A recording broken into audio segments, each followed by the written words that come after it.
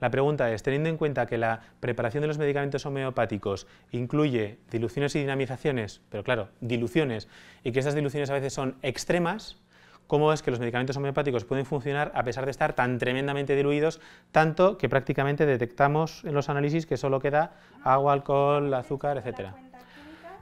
Echando la cuenta química, eso es. La respuesta, la respuesta, si te hubiera tenido que dar esta respuesta hace tres años o hace cinco años, te hubiera dicho, realmente es, eh, es algo llamativo vemos que químicamente no se diferencia el principio activo homeopático del solvente. Pero cuando hacemos análisis físico-químicos, es decir, cuando los analizamos con otros métodos como la resonancia magnética nuclear, no la de los pacientes, sino la de los átomos y moléculas, con resonancia magnética nuclear o por termoluminiscencia o por eh, cambios de pHimetría con cambio de dosis. Bueno, hay diversas técnicas que podemos utilizar y que nos demuestran que a pesar de que químicamente parece lo mismo, físicamente la sustancia, el principio activo homeopático y el solvente son diferentes, tienen propiedades diferentes. ¿Esto cómo es posible? Una respuesta muy de andar por casa. Eh, el grafito, es decir, la mina de lápiz y el diamante, químicamente son carbono, pero a mi mujer le gusta más que le regale un diamante que un lápiz.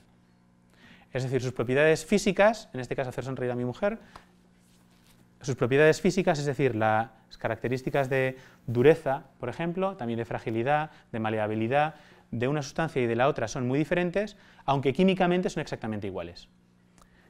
De la misma manera, las propiedades físicas o físico-químicas de las diluciones homeopáticas son diferentes de las del solvente. Además, independientemente de que podamos detectar esas diferencias, vemos que cuando esas soluciones las ponemos en un cultivo celular o se las administramos a un animal para luego eh, extraer las células adecuadas y analizar qué es lo que pasa con ellas, vemos que realmente hay una acción notable sobre esas células. Pongo un ejemplo, Gelsemium, que es uno de los medicamentos que se usa con la ansiedad. Cuando ponemos Gelsemium sobre... Eh, cuando utilizamos Gelsemium con neuronas del sistema límbico de ciertos ratoncitos, comprobamos que aumenta la secreción de alopregnenolona, que es una sustancia que está relacionada con la ansiedad. En esas neuronas, cuando está el Gelsemium. Vemos además que cuando añadimos glicina a esa dilución homeopática, resulta que aumenta todavía más la secreción de la alopregnenolona, tiene un efecto sinérgico. Y cuando añadimos estricnina, se anula el efecto de la homeopatía. Esto nos dice que ese medicamento homeopático actúa, o por lo menos uno de sus mecanismos de actuación es sobre los receptores glicinérgicos de las neuronas límbicas del sistema nervioso central. Bueno, pues tendrá lo que tenga, pero tiene una actividad biológica comprobable y reproducible. Ahora además, hace un mes y medio, se ha publicado un estudio donde se identifica un nuevo mecanismo de acción para el gelsemium en la misma indicación que tiene que ver con la transcripción de, eh, genética, con la expresión génica de esas células. Bueno, pues un dato más que tendrá o no que ver con el otro mecanismo que he comentado, pero desde luego que hay una actividad biológica. Y esto es hace un tiempo, pero es que ahora, eh, y hablo de los últimos dos años, está habiendo publicaciones donde ya con los microscopios adecuados, con microscopía de transmisión electrónica, resulta que, y estos experimentos se han hecho sobre todo en centros tecnológicos de la India, resulta que ya somos capaces de ver que independientemente del nivel de dilución del medicamento, siempre queda una, quedan nanopartículas de la sustancia original de partida. Y a partir de ahí ya se ha construido un modelo del mecanismo de acción de los medicamentos homeopáticos basándonos en que, claro, en esa sucusión, en esa dinamización, en esa agitación que se hace en homeopatía, nuestra idea era Claro, esto homogeneiza, distribuye de forma homogénea eh, las sustancias en la dilución. Al contrario, es un proceso que se parece un poquito al que se usa en nanotecnología para fabricar nanofármacos, que es que de la sustancia original, con esas agitaciones, se producen choques que a su vez producen temperaturas extremas en algunos puntos del fluido y que liberan algunas partículas que a su vez se sitúan en forma de claratos, que se llaman como capas en la dilución. De modo que independientemente del nivel de dilución, siempre vamos a arrastrar algunas nanopartículas en esas capas de una dilución a la siguiente. Con lo cual, incluso en 200 CH, que algunos eh, escépticos, vamos a decir, comentan que es como diluir una gota en todos los océanos del mundo, no, no es así, porque eso sería así si fueran diluciones eh, eh, ¿cómo se dice? diluciones ideales, fluidos ideales y homogéneos. La cuestión es que no son fluidos ideales homogéneos, por eso es por lo que siempre permanecen una parte de la sustancia de partida, alrededor de la cual se estructuran otras moléculas y alrededor de la cual se estructura el agua y el alcohol para poder producir cambios en el organismo. No sé si me he explicado bien.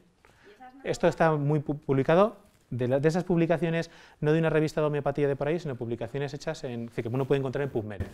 Y esas nanopartículas entonces serán capaces de traspasar barreras eh, muy pequeñas de membrana puede ser a lo mejor en el núcleo de una célula o algo, que otras sustancias no llegan, tienen esa capacidad de penetración. Yo creo que todavía no hemos llegado al punto, hemos llegado al punto de describir que existe, hemos llegado al punto de describir que tiene una acción directa sobre algunas proteínas de la membrana celular y sobre la expresión génica, no solo en el estudio que he comentado, sino en otros. Todo eso está descrito ya. Ahora, el exactamente qué y cómo pasa a dónde para generar ese efecto es lo que todavía desconocemos. Pero para, para mi consuelo, de los medicamentos convencionales hay muchas cosas que no sabemos. De los, por ejemplo, los antidepresivos, ¿no? inhibidores selectivos de recaptación de serotonina. ¿Cómo actúan? Inhibiendo selectivamente la recaptación de serotonina. Y la pregunta es, ¿y si y si la serotonina hace cosas completamente diferentes en diferentes partes del cerebro? ¿Cómo es que tiene la inteligencia de ir a donde hace falta cuando su distribución es homogénea para producir el efecto que queremos? Y es más, ¿cómo es que hay medicamentos estimulantes selectivos de recaptación de serotonina que tienen el mismo efecto que los inhibidores? La tianeptina. Bueno, pues sabemos en general de los medicamentos, tenemos muchas pistas sobre cómo funcionan, pero digamos que hacer el seguimiento de la molécula desde el principio hasta el final, esto no es tan fácil y no, no hay muchos medicamentos para los que esté perfectamente descrito. Tampoco sabemos cómo funciona la inmunoterapia y muchas cosas, ¿no? Pero, pero bueno, lo bueno es que esa acción escéptica, vamos a decir, de una parte de la comunidad científica nos obliga a hacer esa investigación y nos obliga a ir dibujando conclusiones cada vez mejores. Así que nos están ayudando mucho para, bueno, pues para, eh, meternos prisa en, ese, en, esos desarrollos y, bueno, y de hecho pues, eh, pues se está consiguiendo. Hay otra parte de la comunidad científica que está muy a favor de la homeopatía.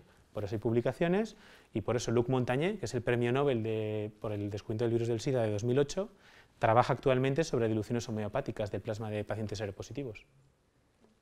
Que yo creo que mucha gente que no sabe que los premios Nobel también están trabajando sobre homeopatía, también Brian Josephson.